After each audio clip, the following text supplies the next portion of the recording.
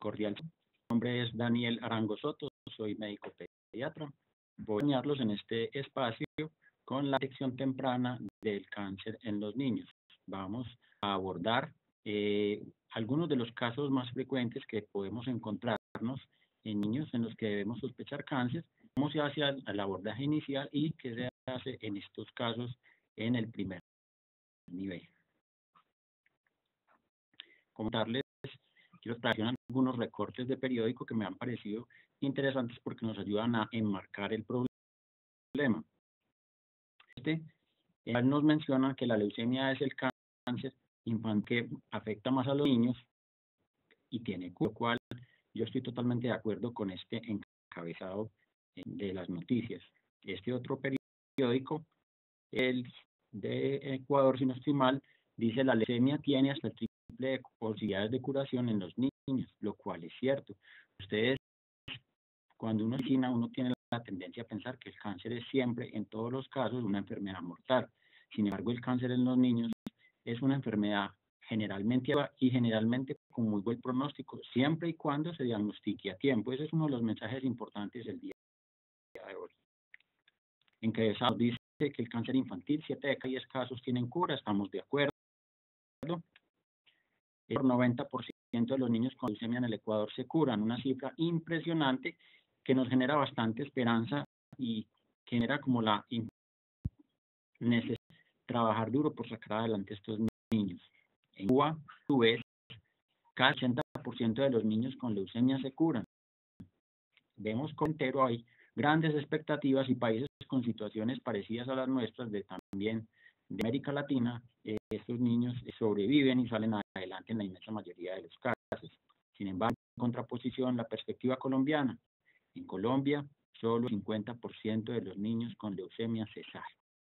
Tenemos muchas veces. En el mundo se salvan 80%, en Colombia se salvan el 50%. ¿Y qué está pasando? Tenemos muchos problemas, entre ellos problemas con el diagnóstico oportuno, con la continuidad de los tratamientos, interrupciones, abandonos, leucemias más bravas. Simplemente tenemos más interrupciones y más demoras en la atención, en términos generales. ¿En qué pasa con cáncer? Para nadie es un secreto que no es lo mismo tener cáncer en Alemania, en Austria, en Inglaterra, que tener cáncer en un país, eh, digamos Bolivia, un país eh, en vía de desarrollo. Así por ejemplo, dentro de Colombia no es lo mismo tener cáncer en Antioquia que en el Chocó. Dentro de Antioquia no será lo mismo que hacer un diagnóstico de leucemia en un niño eh, procedente del barrio poblado de Medellín a hacer un diagnóstico de leucemia en niño procedente de Abeiba Mutata en una vereda alejada. Un enfermo tiene más probabilidad de sobrevivir o no a la enfermedad, definitivamente dependiendo del lugar donde se encuentra. Estudio publicado en la revista de Lancet, las amplias diferencias en el porcentaje de sobrevivir son atribuibles a la desigualdad en el acceso a los servicios de diagnóstico y tratamiento óptimos. La mortalidad infantil indicador de subdesarrollo. En la mayoría de los casos, los niños se mueren por falta de recursos o por no acceder de manera oportuna. La mortalidad es un indicador en general del estado de bienestar de la infancia y de la sociedad en general. Si usted quiere saludable y qué tan desarrollado es un país, observe las estadísticas de mortalidad infantil. Un país con mucha mortalidad infantil será un país en vía de desarrollo y un país con poca mortalidad infantil será un país desarrollado. La mortalidad infantil es inversamente proporcional al Producto Interno Bruto a nivel de urbanización y el grado de escolarización de la población. Primero, que quiere decir que mientras más educado y mientras más productiva sea una sociedad, pues menos mortalidad infantil tendrá. Y dentro de esto se incluye la mortalidad por, cáncer. Eh, en el año 2012 publica este eh, llamado Plan Decenal para el Control del Cáncer. Es un aparte de estudio, hace diagnóstico de nuestra situación, nos contextualiza en qué vamos en cáncer, hace un plan de trabajo para los siguientes 10 años que terminarán en el 2021. La primera parte de la revisión, que Colombia tiene más incidencia de leucemias y un porcentaje menor de supervivencia. ¿Y eso con qué tiene que ver? Encuentra en su diagnóstico el ministerio que tenemos un diagnóstico tardío, que tenemos muchos abandonos en el tratamiento, tenemos problemas sociales y a veces tenemos problemas con nuestro modelo de salud y de prestación de servicios, falta articulación entre los servicios. Entonces, un niño se diagnostica con cáncer en el hospital A, eh, con hemograma en el hospital A, donde se encuentra una célula sospechosa, se remite a un hospital que a su vez lo remite a un hospital D, puede o no tener un oncólogo donde se hace el diagnóstico, pero la patología se envía a otro hospital, la radioterapia se hace en otro, la quimioterapia se hace en otro, la parte hospitalaria en uno, la parte ambulatoria en otro. Y la fragmentación de la atención va dando lugar oportunidad a retrasos que al final eh, el tratamiento que afectan eh, la supervivencia de estos pacientes. La biológica de las leucemias ha iniciado problemas serios en el acceso y continuidad de los tratamientos. Dado que el cáncer es multidisciplinario y exige con frecuencia la integración de modalidades terapéuticas, en el panorama actual los pacientes transitan por un número importante de centros de tratamiento, lo que impone retos especiales para una adecuada coordinación en la administración de los procedimientos. ¿Qué evidenciaba en Colombia? Falla en la detección temprana, falla en la prevención. Tenemos los servicios oncológicos principales están concentrados básicamente en cinco ciudades. Tenemos especialistas insuficientes, los especialistas a su vez en esas cinco ciudades capitales. Eh, pacientes en los cuales la enfermedad se vuelve irreversible, muy con dolor, muy sufriendo porque tenemos servicios de cuidados paliativos insuficientes, el apoyo a las familias es insuficiente, tenemos, como les decía, fragmentación en la atención, tenemos eh, sin cumplir con requisitos ah, en algunas partes del país. Tenemos acciones territoriales muy exigentes como la nuestra, pero en otros departamentos el nivel de exigencia no es tan eh, amplio. Fallas en el sistema de regulación, tenemos falla en la organización para atender a estos pacientes, tenemos algunas familias tienen dificultad para asistir a los tratamientos y a las consultas. No es lo mismo usted ir a un hospital que le queda un cuadra que ir a un hospital.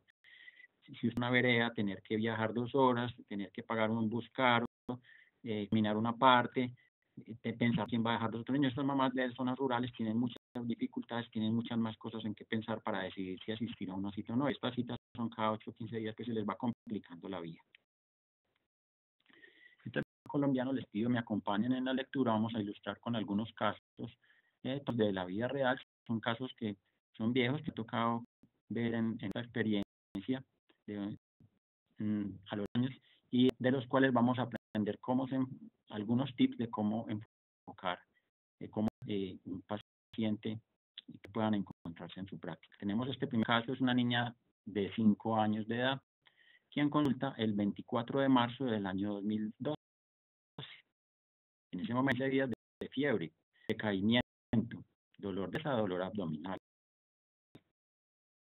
Se encuentra pálida, adenomegalias cervicales laterales, tiene el vaso a 8 centímetros debajo del reborde costal y en el hemograma usted encuentra citopenias y blastos. Segundo nivel, con un diagnóstico de impresión de leucemia. Hay una impresión de leucemia. ¿Qué nos llama la atención de esta historia clínica? Hay 15 días de fiebre. Comenzó hace 15 días. La mayoría de los casos de cáncer en los niños tienen un inicio agudo. Espere una enfermedad crónica. Espere que la enfermedad por cáncer en los niños suele ser una enfermedad de curso de evolución agudo. Comenzó con fiebre. Es normal que las enfermedades febriles prevalentes de la infancia duren tantos días con fiebre. Uno esperaría que una enfermedad lente de la infancia, una neumonía, una gripa, una otitis, una faringitis, en menos de 7 días la fiebre. Cuando ya tenemos 15 días con fiebre, tenemos que empezar a ampliar el abanico de posibilidades diagnósticas. El niño además palidez y adenomegalias cervicales laterales, las adenomegalias son muy comunes, pero no es normal que un niño tenga fiebre y además tenga el vaso eh, aumentado de tamaño, eso es absolutamente normal. Cuando ya tenemos una persona con 15 días de fiebre y una adenomagalia, tenemos que empezar a pensar otras posibilidades, malaria, eh, entre otras. Pero nos cabe la posibilidad de empezar a indagarla el cáncer. El hizo un ejercicio excelente, sospecha leucemia y por esa razón lo remitió. Remitimos a un segundo nivel. En este caso se remitió a un segundo nivel porque primero que contestó que podía recibir el paciente. El segundo nivel, y en el segundo nivel el médico del segundo nivel hace la siguiente historia clínica. El 27 de marzo del 2002 el paciente tiene hemorragia, palidez mucocutánea, piensa que el paciente no tiene leucemia, sino que le ordena una serología para dengue y una transfusión de plaquetas. Subió con trombocitopenia y le ordenó una transfusión. ¿Qué te hace? Un paciente con 15 días de fiebre, el dengue suele ser una enfermedad aguda, suele, la fiebre no, suele durar más de 5 días. Un dengue con fiebre de más de 5 días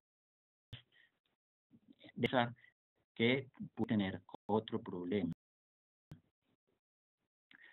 Esta experiencia presentando acá porque una de las enfermedades con las que más se confunde la leucemia es con el es uno de los principales diagnósticos diferenciales, pero vamos a ver que hay una serie de pistas sutiles que nos pueden ayudar a discriminar. El hecho de que la fiebre dure tanto, 15 días, nos hace poco probable que el paciente tenga un dengue. Ya el 28 de marzo del año 2012, el médico se casó con el diagnóstico o los médicos se casaron con el diagnóstico de dengue, encuentran una hemoglobina de 6, un hematocrito de 20 y deciden transfundir glóbulos rojos. Recuerde usted, en el dengue, lo más típico es encontrar hemoconcentración, más no anemia. Un paciente con dengue y una hemoglobina de 6,8 es un paciente que está en una condición hemodinámicamente inestable, que está sangrando por algún lado, y este paciente no estaba sangrando.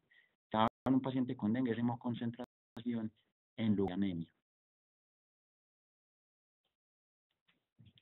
recuerde usted que estamos hablando, apréndase por favor esta fecha, arrancamos el 24 de marzo del año 2012, ha pasado una semana, 7 de abril ya son dos semanas, persiste la trombocitopenia. Dengue con trombocitopenia dos semanas, eso no existe. Pero en 41 mil, uno haría que en el dengue al quinto, máximo, séptimo día las plaquetas empezaran a aumentar.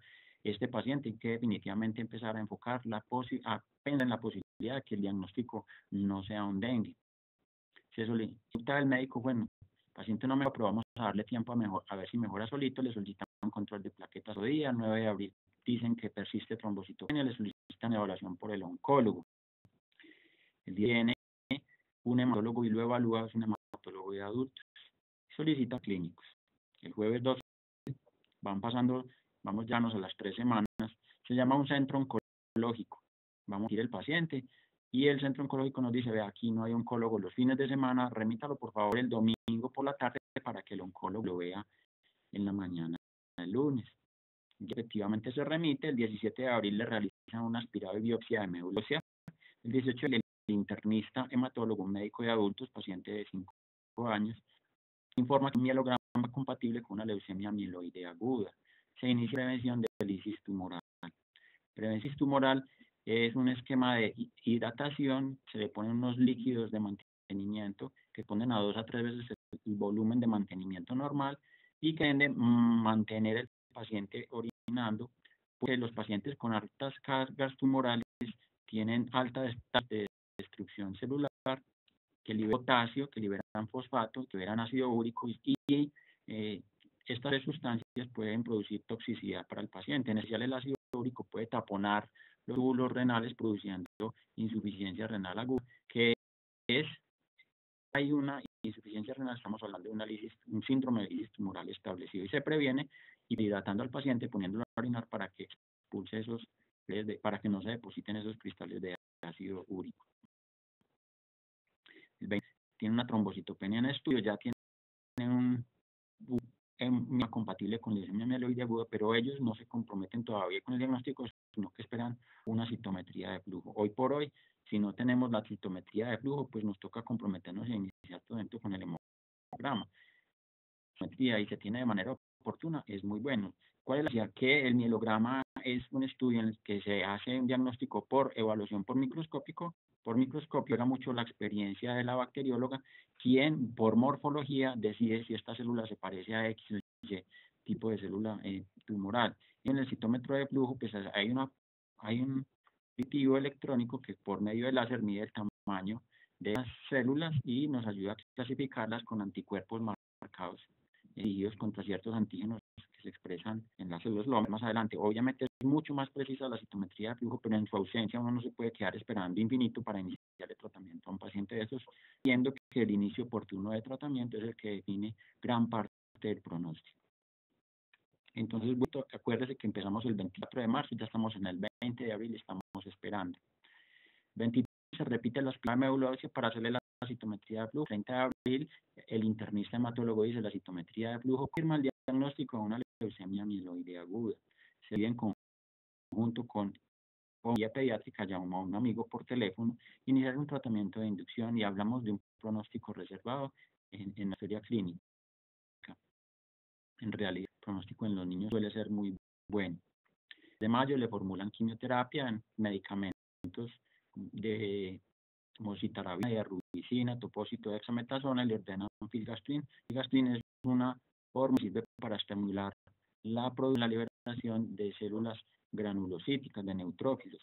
Sin embargo, la prescripción en la parte inicial del tratamiento es muy controversial y no basa en evidencia. El problema es que usted con el filgastrin puede estimular la producción de neutrófilos, pero también de células tumorales, entonces por eso la conducta es tan controversial. En la historia se notan múltiples dificultades porque no había banco de sangre, porque se acabó la sangre, porque se acabaron los glóbulos, porque se acabaron las plaquetas. El 20 de mayo está en un shock séptico por una neutropenia febril y dicen, no, llaman a la EPS, vean, lo tiene que remitir ya o ya para una UCI, si no se muere es culpa suya, se lo remiten a Medellín. Llega una UCI pediátrica de las que hay en la ciudad, eh, llega una falla orgánica múltiple ya en un punto de no retorno y fallece menos de 12 horas después del ingreso de esta muerte.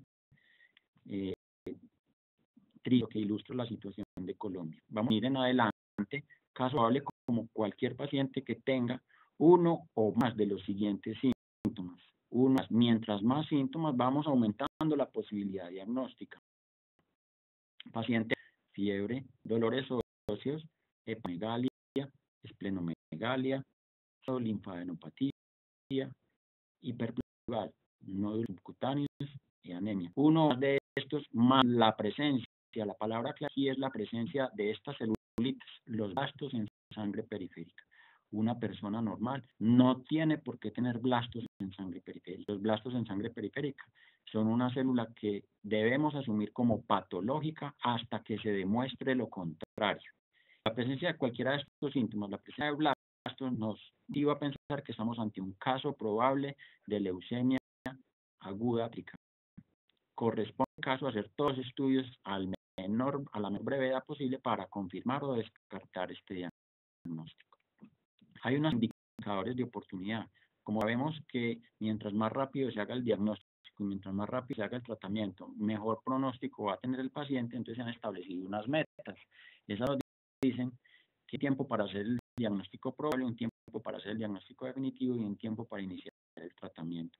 El tiempo para el diagnóstico probable indica eh, equivalente al tiempo entre el momento el paciente consulta por primera vez y el necesita un hemograma. El tiempo para tener dura de ese hemograma idealmente no deberían ser más de dos días, más de dos días. Sin embargo, podemos aceptar hasta hasta 10 días. En este caso, en un día el médico vio los síntomas desde el primer nivel, vio el hemograma y le, le solicitó remisión al segundo pensando en una impresión de O sea, el tiempo entre el día, en los síntomas y la solicitud del hemograma fue óptimo en este caso. Ven, cambio, tiempo para el diagnóstico definitivo. Tiempo para el diagnóstico definitivo es el tiempo que transcurre en el hemograma y la lectura del aspirado médula ósea. Tiempo entre el hemograma y el aspirado médula ósea no debería, debería ser inferior a 8 días. Sin embargo, máximo 15 días. En este caso nos demoramos 29 días. Hubo un retraso para la realización del aspirado de médula y la lectura del mielograma. Tiempo para tratamiento idealmente debería ser menor de dos días, en todo caso nunca mayor de cuatro, y en este caso entre el diagnóstico confirmatorio, el mielograma y el inicio de tratamiento pasaron 15 días.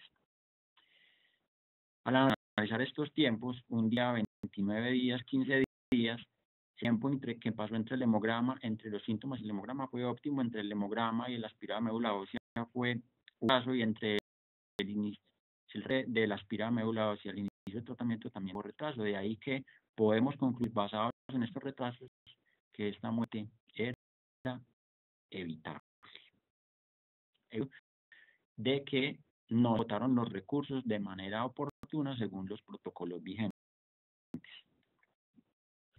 Hay gráficas muy interesantes tomadas de publicación reciente realizada por el Grupo de Oncología del Cancerológico de Bogotá, igual vemos cómo los pacientes que no tienen retrasos, que no tienen retrasos en el tratamiento tienen mucho, miren aquí, esto es la sobrevida, en el eje de las Y vemos la sobrevida y en el eje de las X vemos años que permanente con vida. Vemos como los pacientes en los cuales hay interrupciones de menos de cuatro semanas, aquí menos de cuatro semanas, pacientes que tienen interrupciones cortas del tratamiento, tienen vida que aquellos pacientes que tienen interrupciones de más de cuatro semanas en el tratamiento.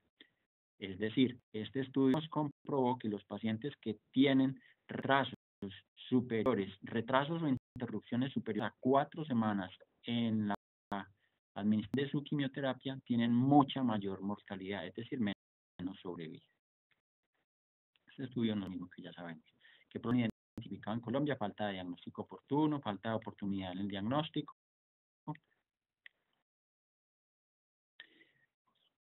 tenemos en cuanto a las, las, personas que trabajan en primer nivel, pueden olvidar con facilidad la enfermedad, no tienen mucho contacto con ella, entonces nos falta conocimiento sobre el diagnóstico de cáncer en los niños. Y el principal, un médico en su ejercicio se enfrenta al diagnóstico de cáncer en un niño cada 5 a 7 años. Esto, que no es una como no es una enfermedad prevalente, no es una enfermedad que el médico vea todos los días, no es una enfermedad con la que esté muy familiarizado.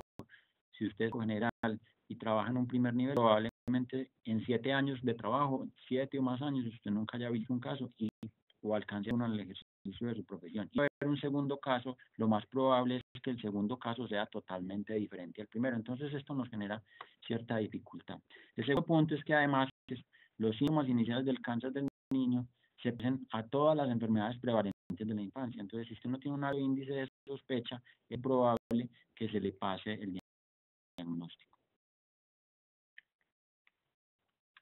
¿Cuál es el cáncer más común en los niños? Vemos como el tipo de cáncer principal, lejos de los demás en Colombia, son las leucemias agudas, tanto amiloide como la lifoide, son por lo menos la mitad de los casos de cáncer en los niños son las leucemias. Por fortuna, las leucemias linfoides tienen un excelente pronóstico.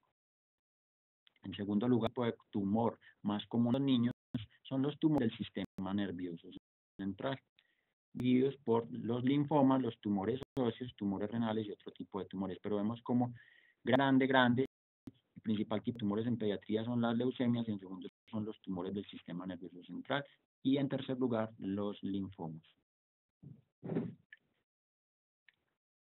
pacientes con leucemia, la causa principal es la linfoide y la segunda causa es la leucemia amiloide. Son mucho más comunes las leucemias linfoides, por fortuna, que las amiloides y además tienen mejor pronóstico.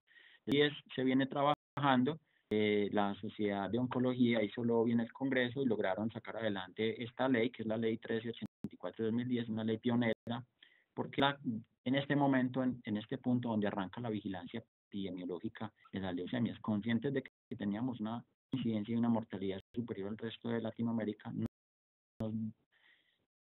se motiva el inicio del proceso de vigilancia epidemiológica para tratar de estar más pequeños y eh, mejorar los de, inicio de tratamiento y, las, y disminuir las interrupciones. Se establece inclusive que estos pacientes hay que hacer vigilancia epidemiológica, que se debe garantizar cero barreras de acceso, inclusive si se diagnostican problemas sociales, se les brinda ayuda con los pasajes para que asistan a las consultas, se les brinda apoyo para asistir a la escuela a los niños. Entonces es una norma como muy completa que tiene en cuenta todo el aspecto social de la atención de los niños. Volvernos un poquito en la fisiopatología con algunos conceptos muy puntuales, muy básicos que nos van a permitir entender mejor, ayudar a aprobarnos mejor a, los síntomas que vamos a ver de, los pacientes. Cáncer en términos generales es la consecuencia de proliferación clonal incontrolada e inmortalización de células progenoras inmaduras bloqueadas en un punto de su, diferenciación. Tenemos células inmaduras que no se han diferenciado, que empiezan a multiplicarse, a multiplicarse sin control, que tienen problemas para para obstruirse, no hay una buena apoptosis, estas células empiezan a acumularse, compiten por alimento, compiten por espacio, se diseminan, eso es el cáncer en términos generales. recuerde usted en fisiología, en los primeros semestres de su carrera, cómo las células madres pluripotenciales están todas en la médula ósea. Que hay una célula madre, que todas las células sanguíneas se originan de una célula madre eh, pluripotencial, que la célula madre se puede eh, dividir en dos caminos principales, una célula madre mieloide y una célula madre linfoide. La célula madre mieloide, a su vez, puede dar a distintos pasos de diferenciación origen a los, glóbulos rojos, los megacariocitos, que a su vez terminarán siendo la, el de las plaquetas. Uno de diferenciación serían los mieloblastos, y esos mieloblastos darían lugar a los granulocitos, y los granulocitos son eosinófilos, neutrófilos o basófilos. Esta célula también se podía diferenciar en una célula madre linfoide, y la célula madre linfoide a su vez, a través de pasos, va madurando hasta que llegamos al linfoblasto, y el linfoblasto se puede diferenciar en linfocitos B, linfocitos E y linfocitos natural que son los que nos protegen contra el propio cáncer. Este grupo de células los llamamos glóbulos blancos. Bueno, en la leucemia, ¿qué ocurre? Ocurre una mutación en alguno de estos puntos intermedios que hace que alguna de estas células precursoras en este camino es, eh, de diferenciarse, no madure, empiece a multiplicarse de una manera incontrolada. Si la mutación ocurre en una célula de estirpe mieloide, estaremos hablando de una leucemia mieloide, y si ocurre en una célula de estirpe linfoide, estaremos hablando de una leucemia linfoide. Así podemos, si es una leucemia de células linfoides, si es, ocurre en un punto de diferenciación de los linfocitos B, entonces hablamos de una leucemia linfoide aguda de células B, si es de células T, entonces hablamos de una leucemia linfoide aguda de células T, si acá hablamos en el brazo de las mieloides, estaremos hablando de una leucemia mieloide aguda y la mieloide aguda puede ser de cualquiera de las precursoras de alguna de estas células. Depende de la línea comprometida, va a ser mejor o peor el pronóstico. El cáncer es un problema genético o tenemos un aumento en la multiplicación de las células o tenemos una disminución en, en la autodestrucción por apoptosis de las células. Ese es, en resumen, el cáncer. Ahora tenemos una célula madre eh, bloqueada en un punto de su diferenciación en esa médula ósea, sea linfoide, sea mieloide. Esas células, eventualmente, entonces, ¿cómo entendemos el problema? Tenemos una célula madre mutante eh, con problemas genéticos que empieza a multiplicarse en esa médula ósea. Esa célula empieza a eh, producir clones de manera incontrolada en un espacio confinado. De ahí, esa multiplicación incontrolada de células, al distender el periósteo, nos va a producir dolor óseo. Los primeros síntomas de, este, de estos pacientes. Dolor por distensión del periósteo, porque hay más células ocupando el mismo espacio. De ahí que ustedes tendrán que es un dolor continuo, progresivo, gravativo, insoportable, que posiblemente no mejora con eh, analgésicos comunes y que le va a producir limitación funcional al paciente, inclusive cojera salida médulas a sangre periférica. ¿Qué vamos a ver en el hemograma? En el hemograma vamos a ver, número uno, podemos ver eh, una pancitopenia, es una de las posibilidades que vamos a ver. ¿Y por qué pancitopenia? Porque las células eh, tumorales están ocupando espacio en esta fábrica, en esta médula ósea, y están inhibiendo la proliferación de las células sanas. Al ocupar espacio, competir por nutrientes, espacio y alimento, están bloqueando la multiplicación de las células eh, fisiológicamente, de tal manera que en el hemograma la expresión de esto va a ser anemia, leucopenia, trombocitopenia. Igualmente, estos mieloblastos, estos o linfoblastos pueden multiplicarse de tal forma que salgan a la sangre periférica y entonces usted puede encontrarse tanto pancitopenia como anemia, trombocitopenia, leucocitosis, pero leucocitosis más de 50.000. Eso, cuando vemos más de 50.000 glóbulos blancos en hemograma, pensamos en la reacción leucemoide, pero no son glóbulos blancos sanos, sino que en este caso estamos hablando de linfoblastos, mieloblastos, eh, por hiperproliferación en la médula ósea. Esto es una muy sencilla de explicarlo y lo que yo pretendo es ayudarle a comprender mejor, a interpretar mejor los síntomas del paciente que está en su consulta. Los morales también van a infiltrar los ganglios linfáticos, haciendo que crezcan, por lo tanto vamos a tener anomegalias porque se están multiplicando en este espacio, lo que va a dar lugar a que aumenten de tamaño. También se pueden multiplicar, pueden sembrarse en el vaso y este linfoblasto, este mieloblasto, llegar hasta el vaso del hígado, empezar a multiplicarse y va también a ocupar espacio, a, dilatarlo de manera que vamos a ver o esplenomegalia o ambas. Como les decía, 75% de las leucemias en los niños son linfoides agudas y 25% de las leucemias en los niños son de tipo mieloide agudo. Ya viendo de manera muy simple la fisiopatología, nos va a quedar muy fácil de entender la presentación clínica. Vamos a tener unos síntomas constitucionales, como en todos los pacientes con serastenia, debilidad, sudoración nocturna, peso. Acuérdese que en los niños, más que pérdida de peso, lo que uno ve es que empiezan a dejar de ganar peso, se aplana la ganancia ponderal tener síntomas de falla medular, síndrome anémico, síndrome hemorrágico, por trombocitopenia, síndrome febril, por neutropenia, organomegalias, adenopatías, hepatoesplenomegalia, síndrome tumoral por infiltración. Podemos tener ocupación del sistema nervioso central, masas, podemos también tener siembras en los testículos y en otros órganos. Los síntomas de cáncer en los niños, fiebre, sangrado, linfadenopatía, hepato, esplenomegalia.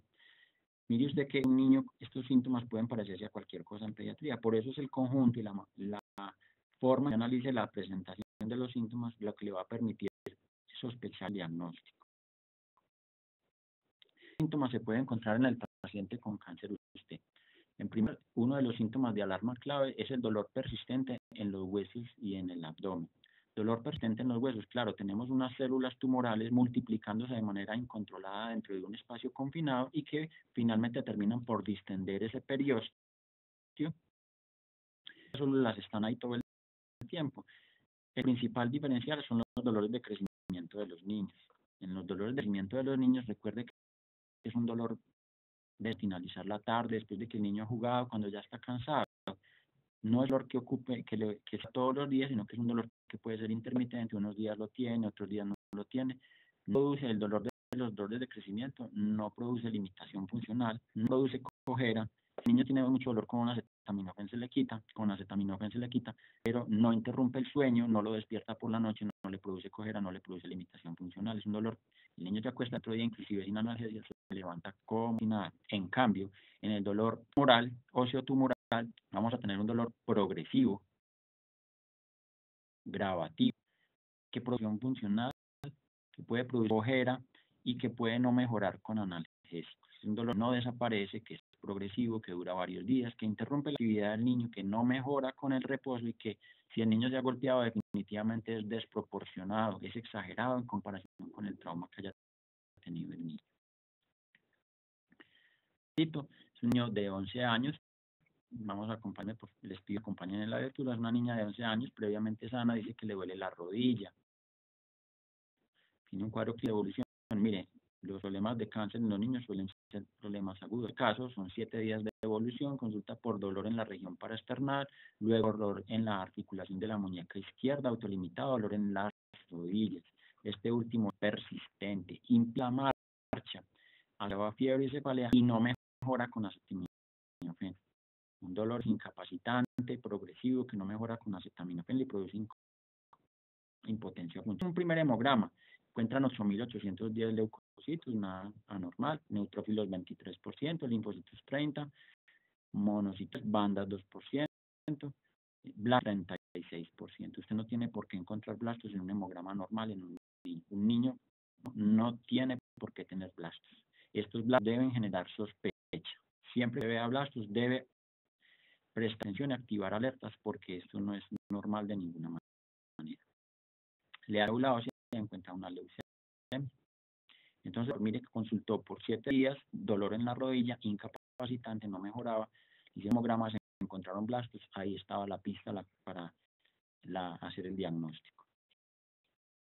Otra de los dolores óseos son los osteosarcomas, que los veríamos pues eh, en la radiografía como esta masa que produce engrosamiento y, como está eh, signo como peludito alrededor de los huesos. El osteosarcoma es uno de los tumores con peor pronóstico en pediatría, por fortuna no es el más común. Esta que se puede encontrar en estos niños es fiebre, sin causa o sin fiebre sin causa aparente que dura más de una semana. En el niño que tiene fiebre que dura más de una semana, lo mínimo que usted debería hacer sería un hemograma para seguro que no haya blastos en la sangre. Las enfermedades prevalentes de la infancia, otitis, sinusitis, rinofaringitis, faringitis, en general las enfermedades prevalentes de la infancia no suele durar más de una semana la fiebre. Si usted tiene fiebre de más de una semana de evolución en pediatría, debe hacer unos estudios básicos.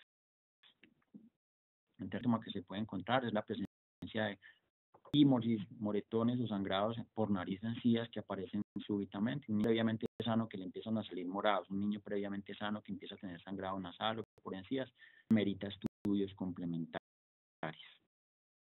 Hallazgos que usted se puede encontrar en el examen físico es el crecimiento de, de las adenopatías. ¿Cómo interpretamos las adenopatías? Vamos a ver otro nuevo caso clínico. Tenemos de 12, una paciente de 12 años, inicia síntomas el 13 de enero del año 2015. Fiebre, gripa, apatías cervicales. Consulta por primero de febrero del 2015. El médico le formula antibióticos sin mejoría. Se hospitó segundo nivel el 13 de febrero del año 2015.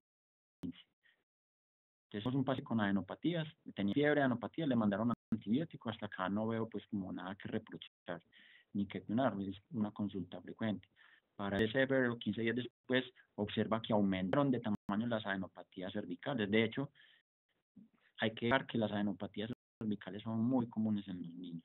Se remiten a un tercer nivel. Ve, estas adenopatías están creciendo, no mejoraron con el antibiótico. Alerta, vamos a estudiarlo. Crecieron, persistieron, no mejoraron con el antibiótico. Ya sospechamos que aquí no hay una infección.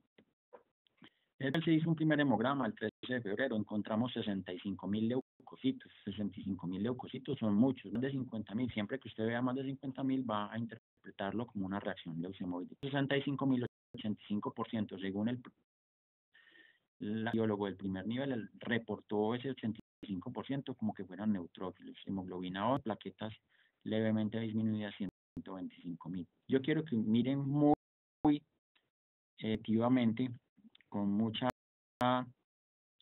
la evolución de los hemogramas a lo largo de los días. 13 de febrero, 15 de febrero, 16 de febrero. Miren lo que pasó el 15 de febrero. Ya tenemos, miren, en cuestión de dos días pasamos de 65 mil leucocitos a 71 mil leucocitos y aparecen 60% de blastos. ¿Qué es acá? Que el 60% de todos estos leucocitos son blastos. Y esto es totalmente normal. Tenemos muchos leucocitos y la mayoría son blastos. Estos son células inmunológicamente inertes, no tener ninguna función inmune ni de protección. Están en 133.000. Un día después, leucocitos 84.920, blastos 85%, plaquetas 124.000. Mire usted cómo en cuestión de tres días aumentan de forma logarítmica los leucocitos. Como la mayoría de esos leucocitos eran blastos, es posible que aquí en el primer nivel no tuviéramos mucha experiencia leyendo y que estos neutrófilos los hayamos confundido con blastos, ya hubieran sido blastos. Entonces, ¿por qué yo énfasis en esta historia? Miren lo rápido que se multiplican, es una multiplicación logarítmica. De ahí que la gran conclusión de este caso clínico es, que en los niños, la leucemia en los niños es una enfermedad aguda es el 16 de febrero, que reporta, eh, que se reporta el 16 de febrero y el mismo día se inicia quimioterapia. Mire cómo son de distintas las cosas. Se hace el diagnóstico rápido, se inicia rápido el tratamiento. El examen físico que encontraron, encontraron unas adenopatías de 5 centímetros. Es normal tener adenopatías después de una gripa, pero nunca de 5 centímetros. Las adenopatías en este caso eran duras, indoor profundos en las regiones del esternocleidomastoideo bilateral y supraclaviculares. Tenía además unas anopatías pequeñas axilares e inguinales. Tenía por otros centímetros debajo del reborde costal, un vaso 6 centímetros debajo del reborde costal. Quiero destacar en esta parte, es normal que un niño, casi todas las enfermedades prevalentes de la infancia, la rinofaringitis, faringitis, otitis, pueden llegar a producir adenopatías, pero nunca de 5 centímetros. Ahora bien, en el paciente en la inmensa mayoría de niños con adenopatías, uno espera que si son de origen infeccioso, como la mayoría, haya síntomas inflamatorios. La adenopatía por infección produce inflamación. Enfático en esto, la adenopatía por infección produce inflamación. En la adenopatía por el cáncer es por infiltración. En la adenopatía por infección tenemos células inflamatorias, neutrófilos, leucocitos que están ocupando el ganglio, este ganglio linfático y produciendo fenómenos inflamatorios. En el paciente con cáncer lo que tenemos es migras tumorales al ganglio que empiezan a multiplicarse. Hay esencia de inflamación, hay crecimiento rápido, pero como hay inflamación no, no está colorada y esta multiplicación de células empieza a invadir planos profundos, es una adenopatía dura, adherir planos profundos y usted cuando la palpe va a sentir como palpando el nudillo de su mano.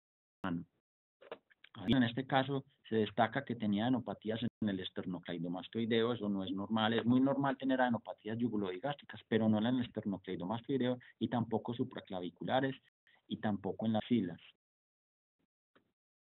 Si usted tiene esas adenopatías acompañadas de pato o esplenomegalia, eso es patológico hasta que se demuestre lo contrario. Estas son las apatías de la paciente. Miren cómo localizadas sobre el esternocleidomastoideo.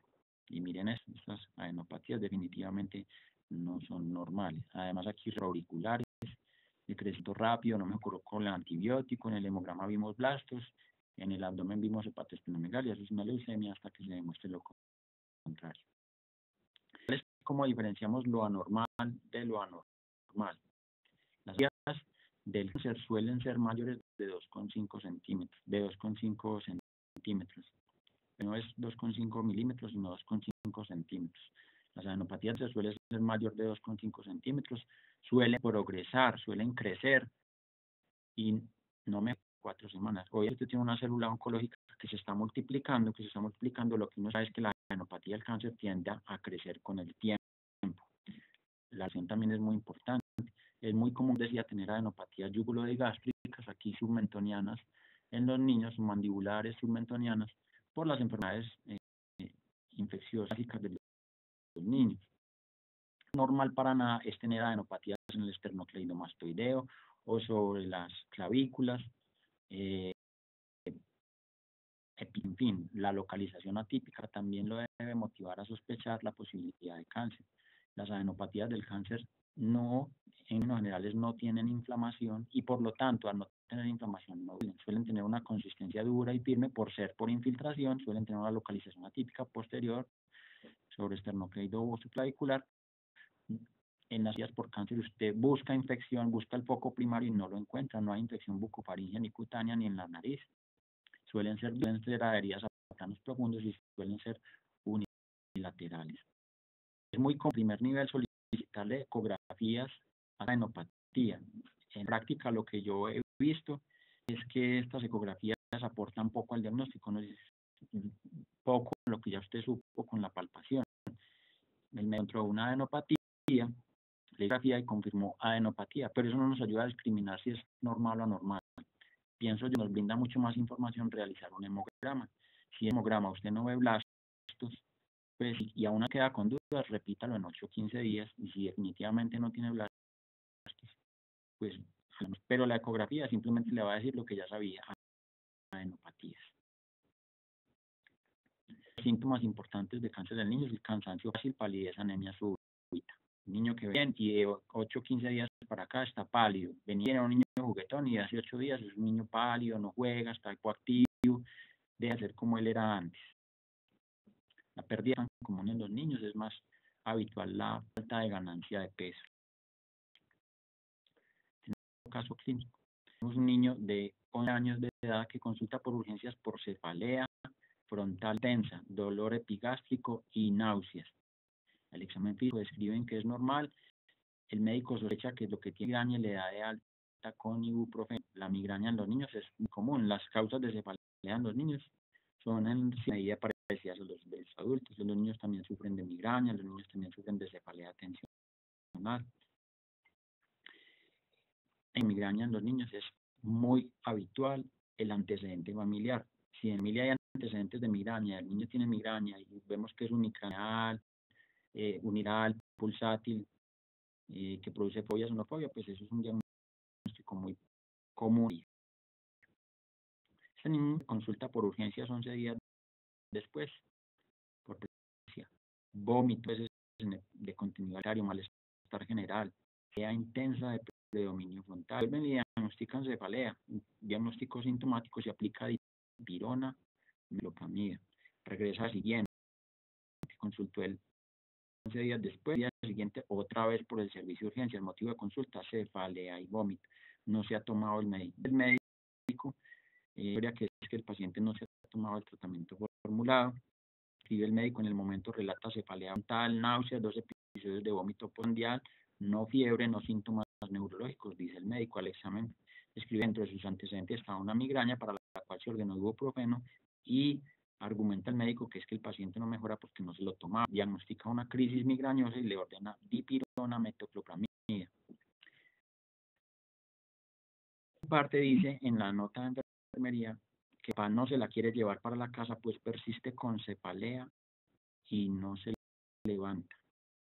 Dice la enfermera que la vía oral, pero que comió acostada, pues no se levantaba por dolor, un dolor incapacitante. El examen físico, la enfermera dice que la paciente está somnolienta y que la marcha es tambaleante.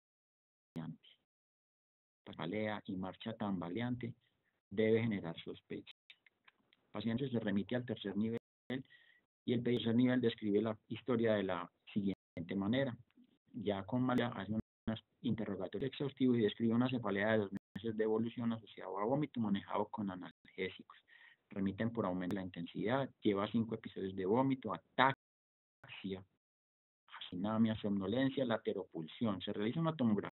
A nivel muestra una lesión hiperdensa cerebelosa izquierda con edema asociado, desplazamiento del cuarto ventrículo, costo de las sistemas de la base, dilatación del sistema ventricular supratentorial, le hacen una ventriculostomía urgente y le inician soporte ventilatorio, se conecta un ventilador mecánico, le hacen un tag de control, encuentran un hemotoma en la fosa posterior, edema en el tallo cerebral y una hemorragia suranoidea, posteriormente eh, inestabilidad hemodinámica y luego les hace pérdida de, función del tallo cerebral. tenía una en la fosa posterior sangró y eso le produjo la muerte al paciente. Descartamos de este caso, paciente que consulta varias veces por el servicio de urgencias con problemas sin resolver, hay que buscar, hay que que de pronto el equivocado no es el paciente, sino que de pronto el equivocado es uno y pensar en otras alternativas diagnósticas. Paciente con lateropulsión, con marcha tambaleante y con ataxia, astenia dinámica, ese esos son síntomas cerebelosos, definitivos síntomas bandera que ameritan estudio urgente. Ese es el aprendizaje de este paciente. ¿Qué pasó aquí? Con un solo diagnóstico que no pensamos en las posibilidades y para hacer la tomografía. Un caso fresquito. Pasa años, remitido por sospecha de tumor del sistema nervioso central al examen físico, la enfermedad actual es un cuadro clínico que inicia en octubre del 2016 con vómito de predominio matutino. Aumenta el número de episodios, algunos en proyectil. Además, cefalea intermitente esporádica entidad variable que fue una cefalea progresiva en intensidad y en frecuencia. El niño se quejaba desde que desde el principio de año refiere alteraciones en la visión, diplopia. La madre y el niño miraba extraño. Empieza a mirar. Además, declive en el rendimiento académico. Esto es algo como muy común. Te recuerdo mucho el caso de una niña, una escolar de zona rural, que era la mejor del colegio y empieza a estar distraída en clase, empieza a estar durmiendo en clase. Uno de los primeros síntomas de hipertensión intracraneana es la somnolencia excesiva. Los primeros síntomas que ves en la hipertensión intracraneana es la somnolencia excesiva. Los tumores en los adultos suelen ser supratentoriales, en cambio los tumores cerebrales en los niños suelen ser infratentoriales.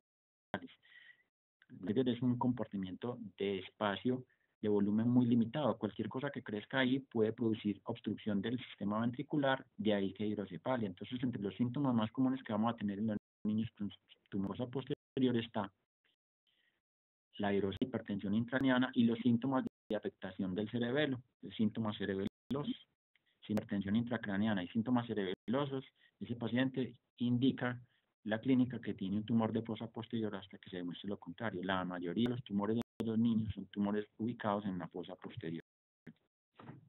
Dicen que la mamá, que el niño, que la niña había disminuido el rendimiento académico, consultó en varias ocasiones y le ordenaron antiparasitarios, vitamina, no mejoraba. Desde hace una semana perdía el equilibrio con caídas, va a caerse síntomas cerebelosos. El día de ayer con episodios de cefalea intensa, afasia y sartras, síntomas, compromiso lógico. La madre no especifica bien para especies en los miembros inferiores, por lo que consulta al hospital local donde la encuentran con nistagmos horizontal, otro síntoma de posible compromiso cerebeloso, diado con cinesia, no era capaz de coordinar este movimiento, otro síntoma cerebeloso, axia, síntoma cerebeloso, estrabismo, por lo cual inician acetaminofén, dexametasona, remiten, y pues en el tercer nivel se hacen los estudios que nos muestran una lesión de estas características, un tumor ocupando espacio en la posterior, segunda causa más común de cáncer en los niños, los tumores cerebrales.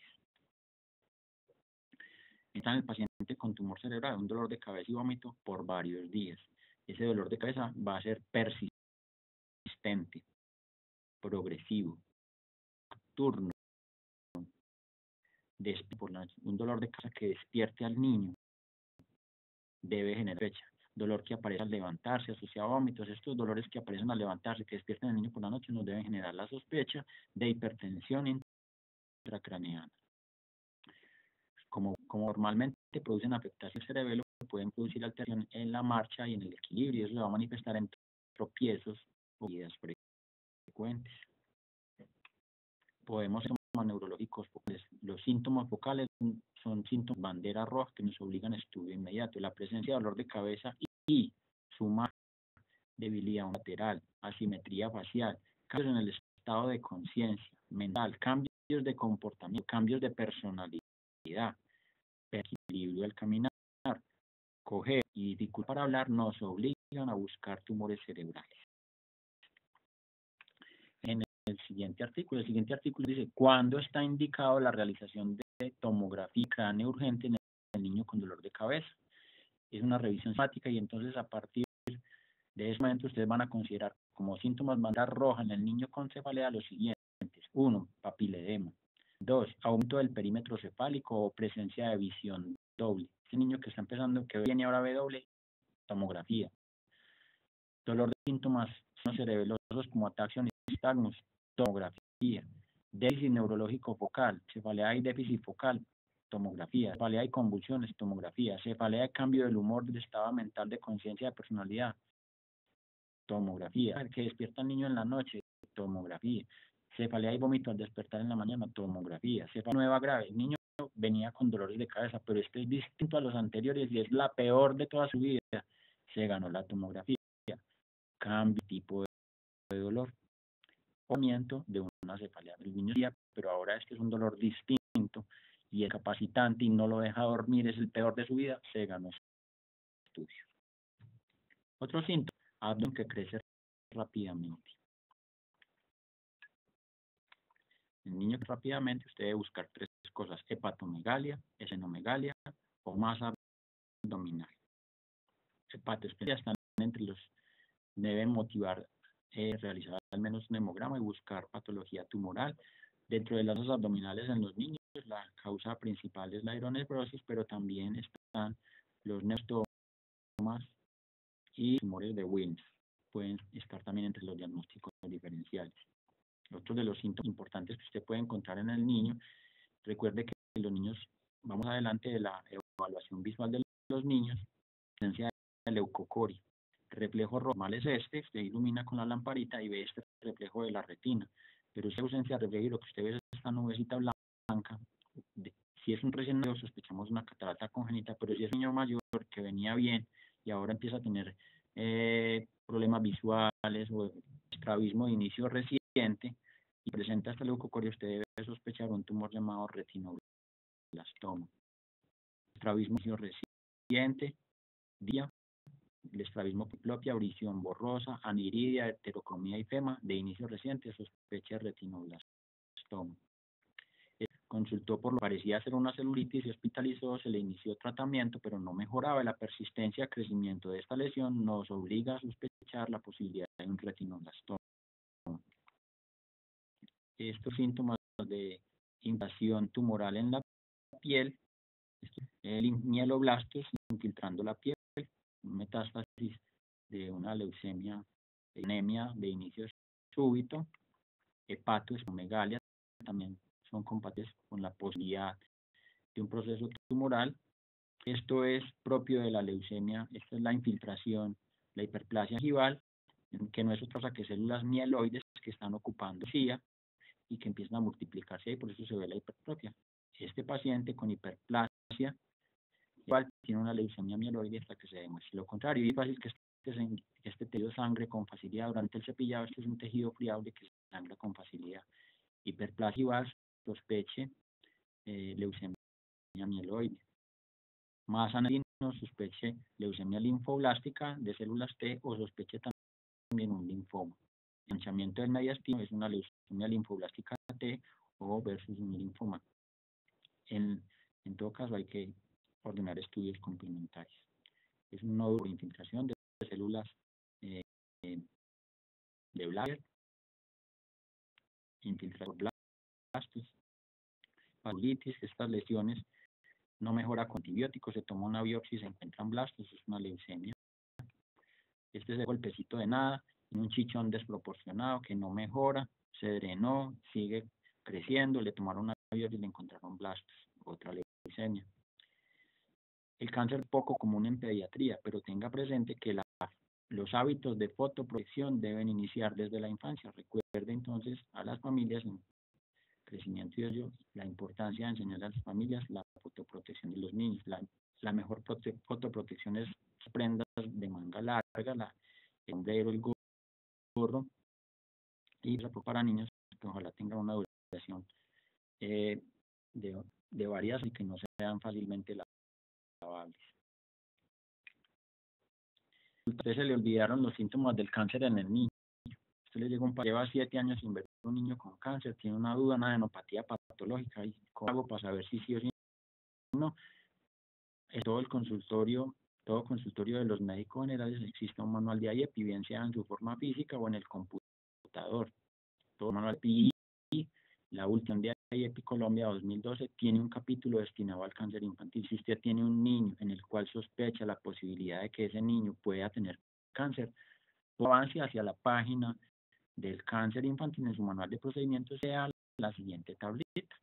Si en la siguiente tablita se encuentra cualquiera de los siguientes síntomas, puede clasificar como posible cáncer o enfermedad muy grave y remitir de inmediato. Estos son los síntomas que acabamos de escribir en las anteriores diapositivas y por eso no me voy a detener. Pero en todo caso, la idea es si usted tiene un paciente con una adenopatía, con una anemia, con unos leucocitos anormales, tiene la duda, se acuerda de charla, pero no se acuerda de todo, no tiene a quien preguntarle, saque el manual de IEPI, saque el manual de procedimientos, y los síntomas coinciden con alguno de estos, clasifique como cáncer y remita para estudio de forma inmediata.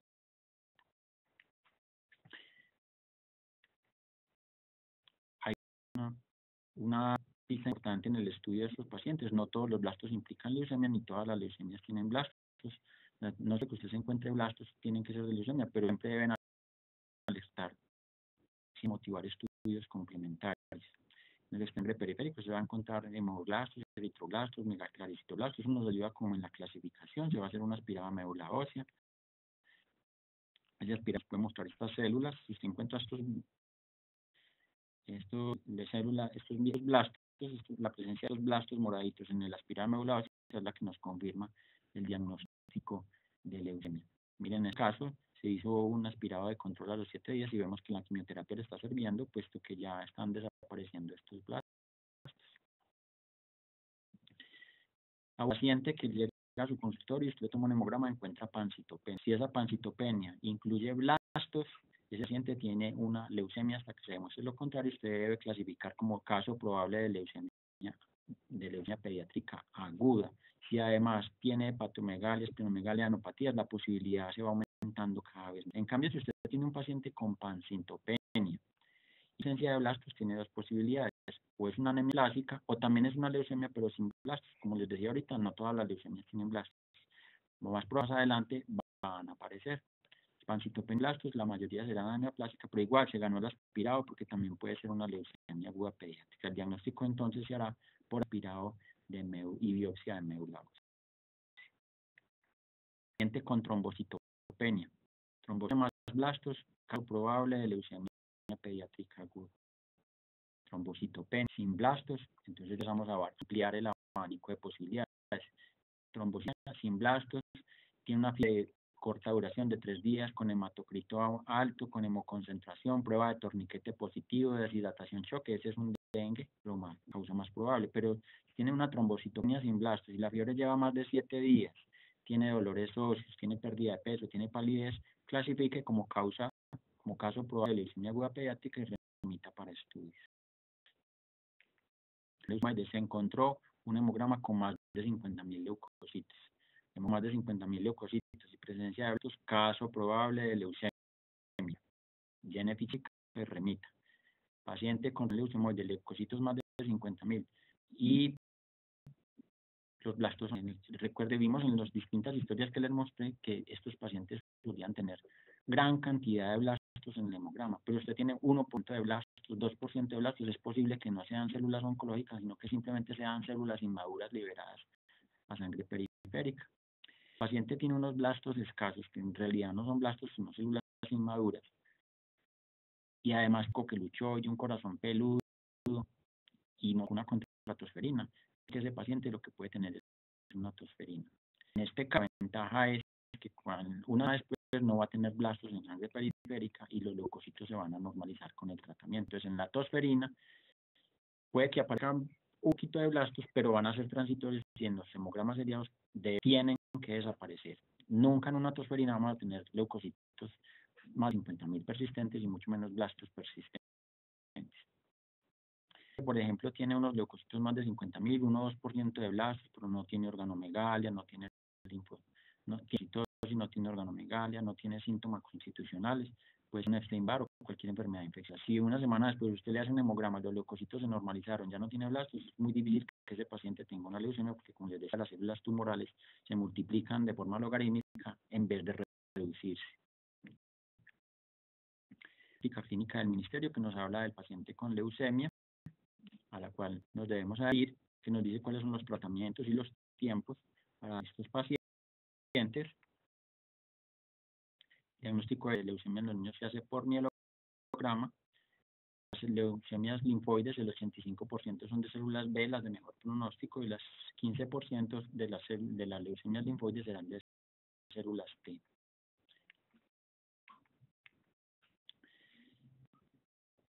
Entonces, esto es el mielograma por morfología se puede hacer diagnóstico, pero hoy por hoy lo preferimos hacer por citometría de flujo. Un rayo láser nos mide el tamaño de las células y además a estos glóbulos rojos los marcamos, a estos glóbulos blancos los a estos células, blastos les entramos unos anticuerpos marcados que nos permiten diferenciar el tipo de célula específica a la cual nos estamos enfrentando. Entonces, que en la maduración de las células, eh, a medida que va aumentando el nivel de maduración de las células, la fase de esta, esta célula va expresando o dejando de expresar una serie de marcadores de superficie. CD10 positivos, CD10 positivos, CD10. Mire que a medida que va madurando, empieza a expresar unos marcadores y empieza a dejar de expresar otros. Yo puedo, con anticuerpos marcados con fluorescentes, marcar esos distintos marcadores y en la medida en que yo encuentro una célula que tiene estos marcadores y que no tiene estos, es decir, esa célula blástica es específicamente una célula pre, una célula pre-T o una célula mieloide, una célula, un promielocito. Eso es lo que me permite el, eso es lo que me da la citometría de flujo, hacer un diagnóstico más preciso de exactamente qué tipo de blastos son los que estoy afrontando.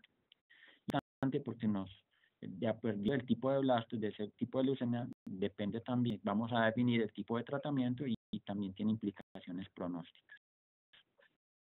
A este se hace cariotipo, el cariotipo podemos encontrar traslocaciones, inversiones, podemos encontrar cariotipos muy anormales. Este todas estas alteraciones citogenéticas y el cariotipo nos van a marcar pronóstico, también nos van a ayudar a definir la intensidad del tratamiento y la duración del tratamiento. La sobrevida menos del 10% de los niños con cáncer. Hoy por hoy, con los tratamientos internos, las sobrevidas en es superior al 80, inclusive 90%.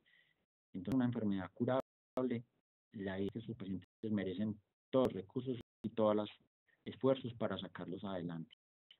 Recuerde usted, vale, cualquier paciente con los síntomas que dijimos y presencia de blastos es un caso sospechoso. En ese caso usted debe diligenciar ficha de vigilancia epidemiológica y, y este es uno de los desarrollos que hay. Todas las enfermedades, su vigilancia tienen cronómetro contrarreloj. Toda vigilancia, una ficha de vigilancia epidemiológica, sospechando cáncer o sospechando hipotiroidismo congénito, empieza a correr el reloj para determinar si el esfuerzo realizado es de calidad bueno o malo. Cuando llega esta ficha de vigilancia epidemiológica, esta ficha llega al Instituto Nacional de Salud, el Instituto Nacional de Salud por si vigila, va a notificar a la, al ente territorial y esa información también va a llegar a la EPS. De tal manera que esta ficha llega al ministerio en el Ministerio del Instituto Nacional de Salud hay una serie de personas que se van a encargar con esta ficha biológica de llamar a la familia del afectado a preguntarle si ya le hicieron el estudio, si ya le autorizaron el examen, si tiene problemas con autorizaciones, si, si tiene problemas con las citas, si le falta alguna especial, qué falta, hasta si le faltan pasajes les preguntan, y si entran algún tipo de dificultad van a, ordenar con una forma dirigido a quien corresponde en su asegurador realización inmediata de los estudios pendientes. Entonces, este control externo nos va a ayudar a optimizar los tiempos y a disminuir las interrupciones.